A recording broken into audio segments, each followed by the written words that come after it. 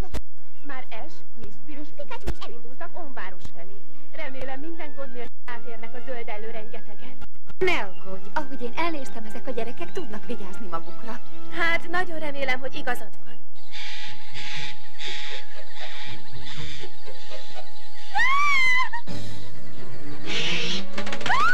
Most mi bajod? Nézd, ott a fűben! Ó, oh, remek, ez itt Caterpie. Ő a leghíresebb bogár Pokémon. Nem érdekel, hogy Pokémon vagy se. A két olyan gusztustalanok, én utálom őket, úgyhogy csinálj már!